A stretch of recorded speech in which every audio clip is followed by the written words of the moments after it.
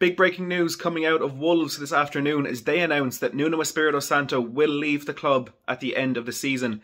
Could he be the next Spurs manager? Well, before we discuss that, if you are new to the channel and you want more videos like this, plus updates on Tottenham's transfer window and the Tottenham Fan Voice podcast, make sure to smash that uh, subscribe button down below.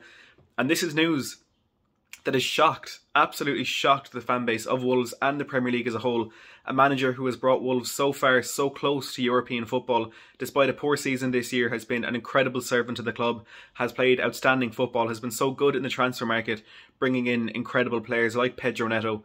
Um, and bringing in players that were targeted by bigger sides like Ruben Neves when they were still in the Championship and Joao Moutinho as well. He's made some incredible players become even better at Wolves, the likes of Conor Coady, could he be the next manager of Spurs? Well, he wasn't on that four man shortlist that Spurs finalised last week. However, we did hear in the last couple of days that new candidates are actually emerging in Tottenham's race for a manager. It's it's one that I think is, is really interesting. The timing of it is absolutely uh, interesting. I've seen already in the last five minutes since this news was announced, uh, Wolves fans on Twitter completely shocked by this news. Nobody was expecting it. It has come out of nowhere.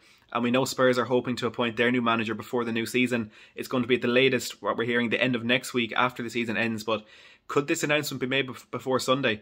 I'm not sure if Espirito Santo is going to be the man for Spurs, but the timing of this one is all too convenient as Spurs look to finalise their, their pursuit of a manager. Let me know in the comments below what you think about the timing of this one and if you think Nuno Espirito Santo could take the reins at Spurs next season. Would you like to see him as well? That is a big question that will need to be answered. Make sure to smash that subscribe button as I said if you haven't already. Uh, leave a like on this video if you've enjoyed it and as always, thanks for watching.